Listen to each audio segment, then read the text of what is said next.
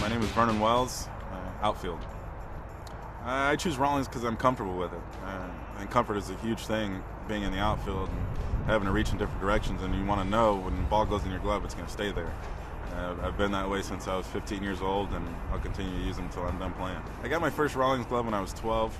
Uh, it just took me a little while to break it in, but uh, only I wore Trap-Eze because Griffey wore Trap-Eze, and I've been wearing using the same thing ever since. Uh, it's the only way to break in a glove for me is uh, is just get comfortable with it, catch as many balls as possible, and once you get to the point where you're comfortable with, with anything and everything thrown at you, then you can use it in a game. I try to use the glove for as long as it'll stay in one piece. Uh, I've used the glove for eight years, uh, and everything started falling apart in it, so I had to actually break in a new one. But I'll use it until I can't use until I can't use it again. Uh, for me, going in every season, you want to improve in every facet of your game. You want to try to get better each and every year.